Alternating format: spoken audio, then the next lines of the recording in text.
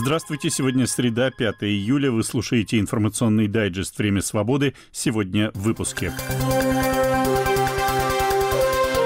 Власти Чечни увидели почерк западных спецслужб в жестоком избиении обозревателя «Новой газеты» Елены Милашиной и адвоката-правозащитника Александра Немова. В Татарстане налажено производство боевых беспилотников типа «Шахет». Расследование YouTube-канала «Разворот». Как белорусские власти и белорусские военные относятся к размещению в Беларуси подразделений ЧВК «Вагнер». Также сегодня. Сегодня утром я переговорил с Сергеем Кужгетовичем Шойгу, и он нам еще предоставит в случае необходимости два больших десантных корабля. Министр транспорта России Виталий Савельев предлагает использовать боевые корабли для доставки туристов в аннексированный Крым. Число пострадавших при обстреле российскими войсками села Первомайское в Харьковской области Украины достигло, по данным местных властей, почти 45 человек. Все они, в том числе женщины и дети, получили ранения легкие или средней степени тяжести. Мощные взрывы произошли в оккупированной Макеевке в Донецкой области. Оккупационные власти заявляют об одном погибшем и 40 раненых. Временно исполняющий обязанности главы так называемой Донецкой Народной Республики Денис Пушилин утверждает, что обстрелу подверглись жилые кварталы, однако по данным украинских телеграм-каналов ракета попала в склад боеприпасов для ракетных систем залпового огня, что и объясняет мощность взрывов. Из новостей с фронта в Украине отмечу сообщение про российского военкора Александра Сладкова, написавшего в своем телеграм-канале, что вооруженные силы Украины, возможно, взяли под свой контроль Клещеевку под Бахмутом.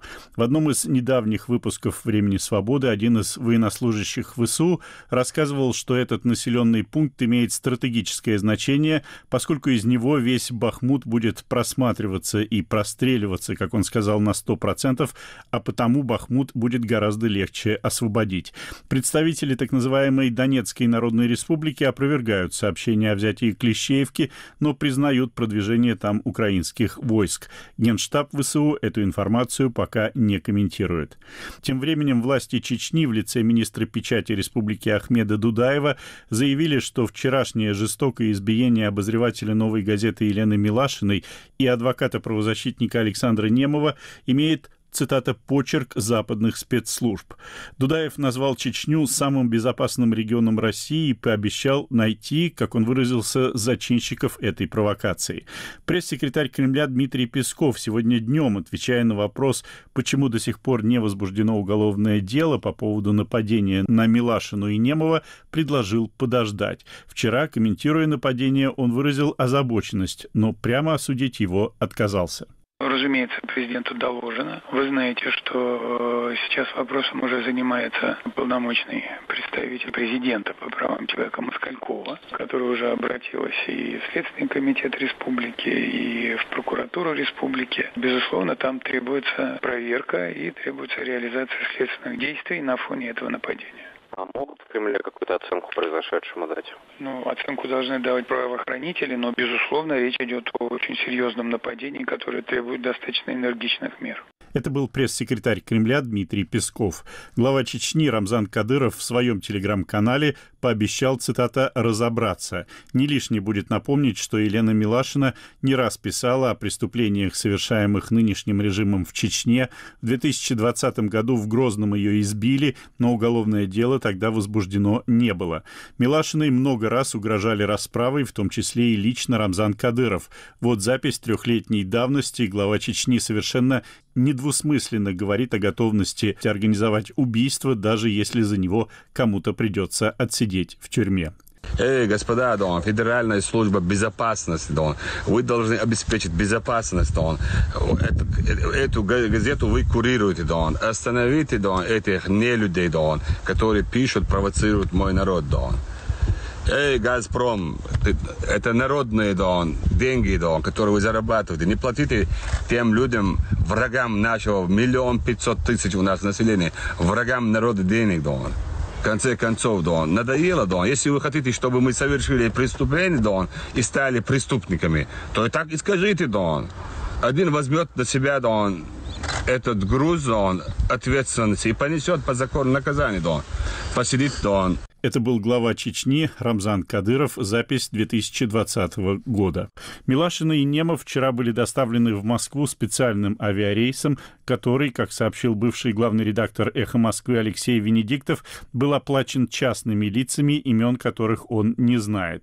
Ну а Елена Милашина вчера подробнее рассказала о том, что случилось. Они выкинули таксиста из э, машины, и нас вниз головой. Мне попытались завязать руки за спиной. Сашу проткнули, видимо, тогда ткнули ножиком, потому что кровь начала течь у него оттуда. Проехали какое-то расстояние, и машина заглохла. Они ее не смогли завести, и уже нас затащили там в какой-то овраг и начали избивать. Не об, обрили? Да, это они сделали, это не врачи. Все думают, что это врачи, что у меня какие-то страшные раны. Ран, слава богу, нет, и это ушибы. Рано, чем от ушиба части, наверное, знают люди, да?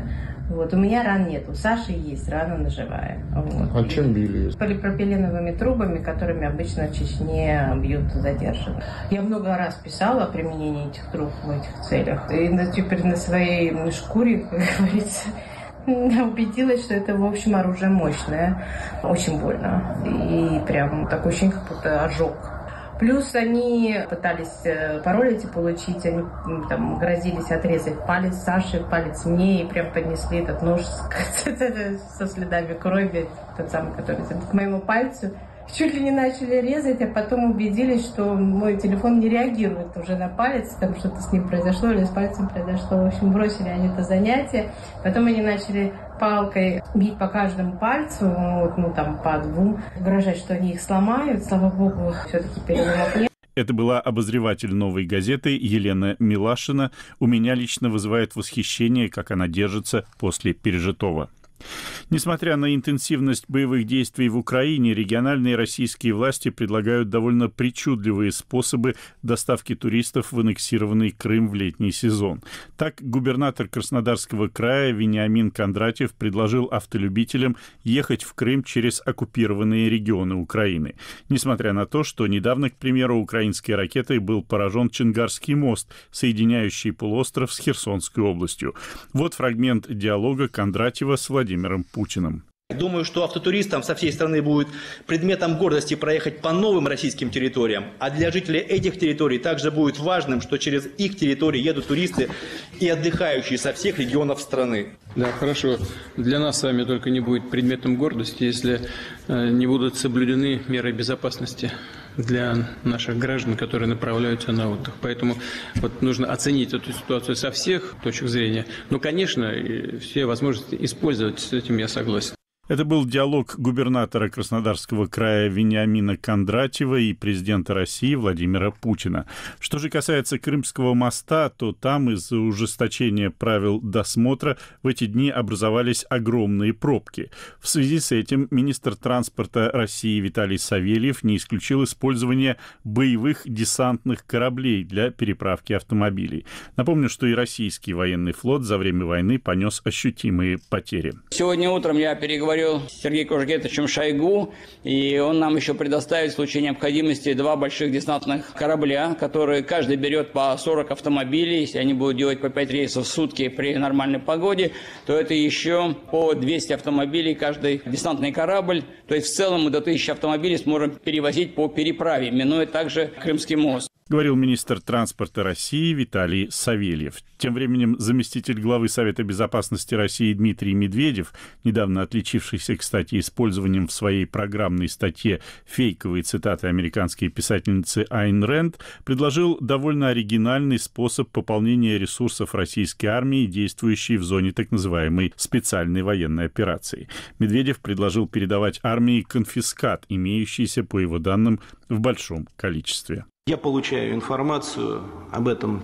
пишут, да и журналисты высказываются, военкоры высказываются, о том, что в различных регионах нашей страны а, находится довольно много конфиската у браконьеров, там, разных контрабандистов и других нарушителей.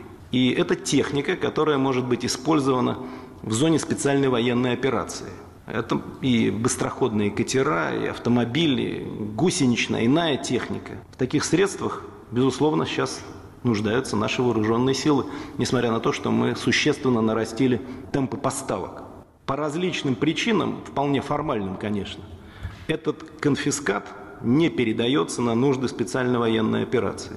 И хотя в отдельных регионах об этом уже было сказано, но решение здесь должно быть принято на федеральном уровне, потому что за реализацию конфискованных объектов отвечают федеральные ведомства. Это был заместитель главы Совета безопасности России Дмитрий Медведев. Но, конечно, гораздо серьезнее выглядит публикация YouTube-канала «Разворот» о том, что в Татарстане в сотрудничестве с Ираном налажено производство боевых беспилотников «Камикадзе» типа «Шахет», так часто применяемых против гражданских объектов в Украине. Вот что соведущий канала «Разворот» Антон Рубин рассказывает о том, как удалось узнать о таком производстве и чем руководствовались те, кто его организовал. Как узнали? Общались общались э, с людьми, которые непосредственно с этими связаны. Конечно, источники мы сейчас выдавать не готовы. Возможно, в будущем можно будет их открыть. Но это не один человек, и это огромный набор документов. Это внутренняя переписка, внутренние таблички с вопросами к иранской стороне на этапе переговоров с Ираном. Это письма потенциальным партнерам, которые, кажется, отказались от сотрудничества и много-много технической документации. Они пытались сотрудничать с российским производством калашников, э, с Ижевским заводом, для того, чтобы производить боевую часть для этих дронов, но почему-то у них не задалось. Также они пытались сотрудничать с организацией ТАИП, которая специализируется на производстве беспилотников, но там э, столкнулись с внутренним саботажем. В общем, с э, отечественными предприятиями как-то не зашло у них, а вот с иранским производством куда проще им оказалось сотрудничать. В Татарстане этим занимается Алабуга, это название, татарское название Елабуги. Алабуга – это свободная экономическая зона, которой очень сильно снижены налоги и очень э, много было привлечено еще до войны Э, в том числе западных производств, Форт Солерс из самых известных, Кастамону, производитель ламината из Турции и много-много других еще предприятий, которые пользовались налоговыми льготами, пользовались очень недорогой рабочей силой. И это действительно выглядело как успешный проект, такой оазис промышленного производства в Татарстане. Часть из этих производств, конечно, после войны ушли. Например, Форд Солерса не стало. Вместо Форда там теперь собирают китайские грузовики на базе компании Джек. Называются они как-то иначе, но это, в общем, не должно никого смущать. Это Джеки и есть. По отзывам они разваливаются и выходят ржавыми уже прямо с завода. Поэтому, в общем, ничего хорошего создать после войны не удалось. Разве что сборка иранских дронов, которая, кажется, идет пока успешно, к сожалению. Эффективно достаточно организованы логистические поставки из Ирана. Это полный конструктор, там о производстве, конечно, речи не идет. Это сборка из уже имеющихся запчастей, но планирует постепенно за 2-3 года перейти к э, производству, именно а не сборке на территории России. История развивалась так, что они как бы и не собирались изначально э, становиться частью российского ВПК, но у них начали призывать сотрудников, высококвалифицированные кадры, которые в России всегда в большом дефиците. И они сначала пытались нанимать людей специально под призыв. Вы знаете, когда нанимают людей в штат только для того, чтобы отдать военкому на съедение. Этих людей стало тоже не хватать, и они решили, что, наверное, оборонзаказ их спасет, потому что предприятия, выполняющие оборонзаказ, получают бронь. Фактически это была попытка защититься, защититься от э, раздербанивания кадров квалифицированных. И вот постепенно, шаг за шагом, они как бы все глубже и глубже в это болото погружались погрузились до того, что теперь полностью собирают иранские дроны. Иран, как и Россия, тоже находится под санкциями, как вы знаете, давно уже находится, и поэтому у них проблемы с реализацией, проблемы с э, товарооборотом и денежным оборотом. Поэтому рубли, конечно, никуда бы не смогли сплавить, это совершенно точно. В России им нечего закупать в таком объеме, э, в котором они могли бы получить рубли за эту франшизу фактически. Поэтому они сначала подумали, сказали, давайте нам лучше в золоте, а потом, видимо, видимо, поняли, что и золото на мировом рынке в таком количестве они продать не смогут именно из-за санкций, и попросили оплату в долларах. Долларов столько у России не нашлось, и вообще той суммы 80 миллиардов в рублях, если считать, у Российской Федерации тоже, кажется, не нашлось, несмотря на то, что правительство курирует, правительство Российской Федерации и правительство Татарстана курирует и полностью поддерживает этот проект. Найти 80 миллиардов не смогли, нашли нашли только 30 миллиардов. Остальные 50 э, попросили э, вот эту самую особую экономическую зону Алабуга найти самостоятельно. По косвенным данным можно предположить, что в этом им помог господин Костин, представляющий ВТБ. Проблема в том, что Министерство обороны не финансирует э, заранее, да, нет никаких авансовых платежей. Они готовы платить только за готовые беспилотники. Но чтобы эти готовые беспилотники поставить, понятно, нужно вложиться. И вот с этим кассовым разрывом Алабуга постоянно и работает.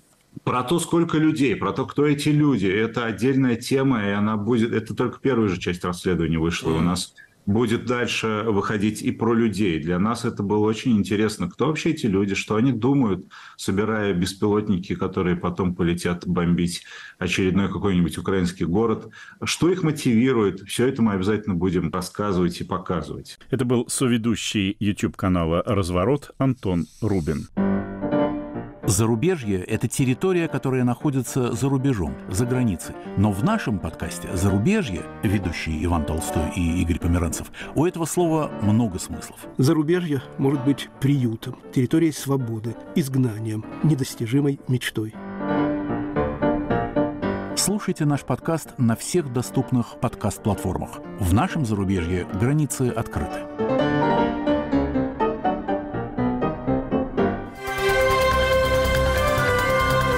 Вы слушаете информационный дайджест «Время свободы». Сегодня среда, 5 июля. Тема выпуска представляю я, Андрей Шароградский. Вслед за сообщением о том, что Евгению Пригожину были возвращены конфискованные силовиками после мятежа денежные средства и золотые слитки, стало известно, что владельцу ЧВК «Вагнер» вернули именной пистолет, которым его наградил, угадайте с трех раз, министр обороны России Сергей Шойгу. А вот что касается подразделений ЧВК «Вагнер», которым было разрешено уйти в Беларусь после мятежа, то там остается много неясного. Александр Лукашенко высказался по этому поводу довольно противоречиво. Никаких лагерей мы не строим. Мы им предложили одну из заброшенных частей. Пожалуйста, забор есть, все есть. Ставьте палатки. Ну, чем можем, поможем. Пока определяться, чем им заниматься. Это был Александр Лукашенко. Присутствие ЧВК «Вагнер» в Беларуси я обсуждаю с белорусским политическим аналитиком Виталием Цыганковым. Виталий, ну, судя по всему, вот эта эйфория по поводу участия Александра Лукашенко в урегулировании вот этого военного мятежа Евгения Пригожина, она несколько успокоилась, и сейчас, конечно, приходится задаваться вопросом, что вагнеровцы вот в эти дни делают на территории Беларуси. Есть ли какие-то данные о том, какие у них лагеря, где эти лагеря находятся? Ну, прежде всего, надо сказать, что именно слова «делают» на территории Беларуси пока еще даже невозможно подтвердить ни теоретически, ни практически, потому что нет никаких данных, что какие-либо вагнеровцы уже оказались на территории Беларуси. Об этом много разговоров, и пока действительно нет никаких ни официальных, ни неофициальных подтверждений тому, что какое-то количество вагнеровцев оказалось на территории Беларуси. Есть подтверждение о том, что, например, например, около поселка Цель, согласитесь, какое красноречивое название, это Осиповический район к югу от Минска, на бывшей военной базе проводятся э, какие-то работы. Там в 90-е годы в той части дислоцировалась 1500 человек, военные вместе с семьями. Но в 2018 году ракетную бригаду перевели в Осиповичи, люди разъехались, общежития и казармы э, стали пустовать. Но сейчас на этой территории, где раньше размещалась бригада, начались определенные, ну, довольно простые работы. Там кладут плитку, устанавливают палатки. С другой стороны, конечно же, поток э, каких-то комментариев и поток э, разных версий, информации, он не ослабевает. Люди рассуждают о том, кому было выгодно и как это может отобразиться на территории Беларуси. И об этом и мы с вами можем сейчас поговорить. Это, конечно же, очень интересно, как общество белорусское воспринимает присутствие военизированной группировки из другой страны на своей территории, и тоже как военные это воспринимают, ведь, насколько я понимаю, зарплата у наемников ЧВК «Вагнер» значительно выше, чем у офицеров и даже генералов белорусской армии. Ну, естественно, что в условиях современной Беларуси, в условиях авторитарного диктаторского режима никакого э, публичного неудовольствия, проявления какого-то неудовлетворения со стороны официальных военных э, не может быть и речи, но э, о том, что в средствах массовой информации появляются и какие-то высказывания, там, неофициальные или высказывания анонимные, военные, что, конечно же, вряд ли белорусским военным и белорусским силовикам Э, может понравиться присутствие э, Вагнера на территории Беларуси. Прежде всего, вопрос о том, что ну, военные и силовики в широком смысле слова, они сегодня полностью властвуют Беларуси, они подавили белорусскую революцию и считают себя самыми главными э, в белорусском государстве. И тут приходят какие-то, ну, непонятно, то ли наемники, то ли бандиты, поскольку сам Путин назвал их предателями. И вот к этим бандитам, которых Беларусь белорусские силовики привыкли, э, что называется, мочить, к ним нужно будет как-то уважительно относиться, я не знаю, э, они будут иметь какой-то статус, и очевидно, что белорусским силовикам это не нравится, и по некоторым данным, вот когда Лукашенко проводил сразу же после событий совещание с силовиками, из того, что просочилось в независимой прессе, ну, есть данные, что он именно как бы объяснял свое решение, почему он помог Пригожину, объяснял, что баланс баланс от этого не изменится, баланс сил, никто не будет, так сказать, э, тут этим пригожинцам слишком э, такие роскошные условия представлять. Сам Лукашенко, кстати, заявил, э, из его слов такая была фраза, что они будут тут жить за свой счет, и это другой как раз аспект, именно финансовый. Дело в том, что за всю историю российско-белорусских отношений при Александре Лукашенко 1994 года никогда не было, чтобы Беларусь, чтобы Лукашенко платил платил россиянам. Обычно э, Москва, Россия платит Лукашенко, и даже трудно представить, чтобы Лукашенко белорусского бюджета или каких-то других фондов платил вагнеровцам. А с другой стороны, если им не будет сейчас платить э, российское государство, как заявил Путин, столько миллиардов э, именно шло именно на содержание Вагнера, а сейчас они предатели, то за счет чего они будут жить? Ясно, что, возможно, Лукашенко захочет э, какие-то проекты, те же африканские, поддерживать с Вагнером, чтобы получать свою долю, но трудно представить, зная всю его политическую биографию, его характер, чтобы он оплатил вот этим наемникам просто за то, что они находятся на территории Беларуси, не понимая, какая от них может быть польза и какие проекты с ними он э, может делить.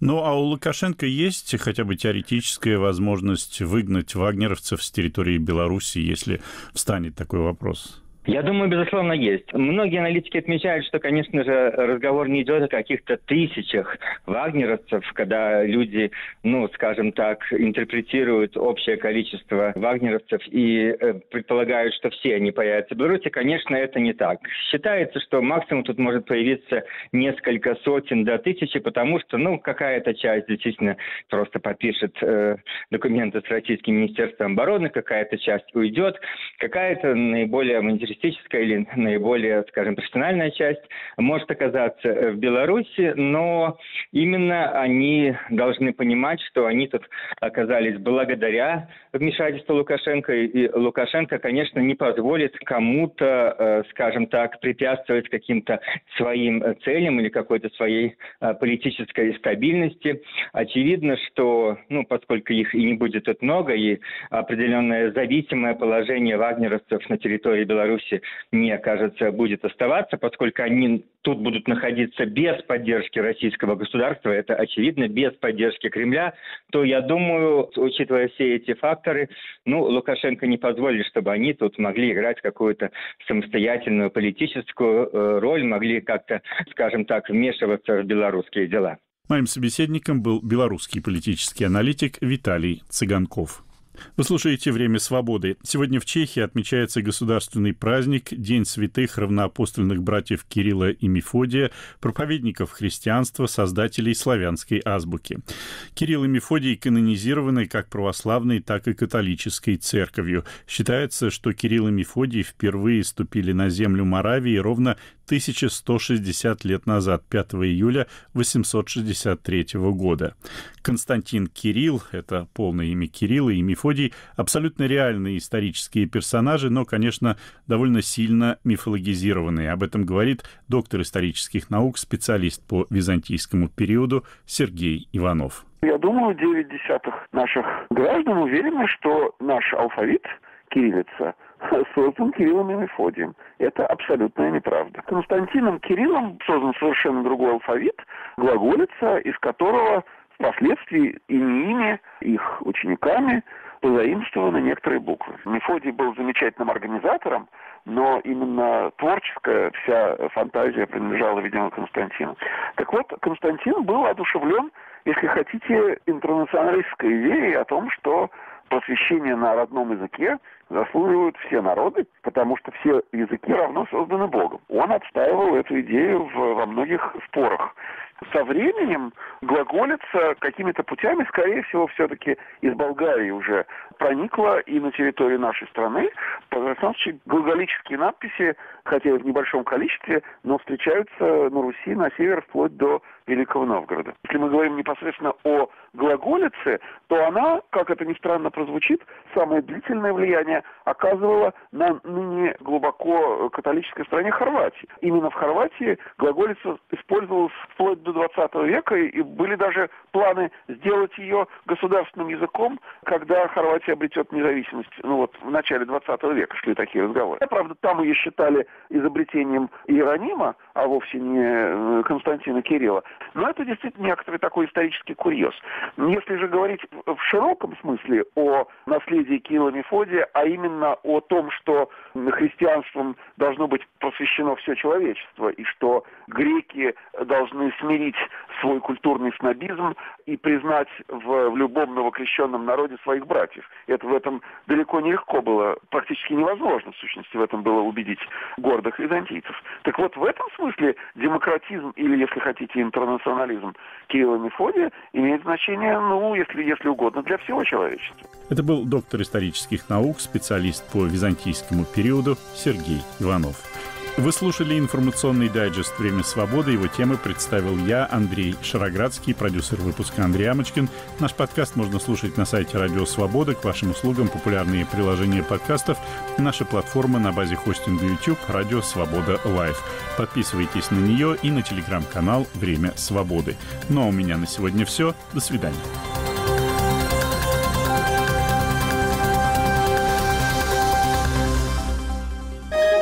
Студия подкастов «Радио Свобода».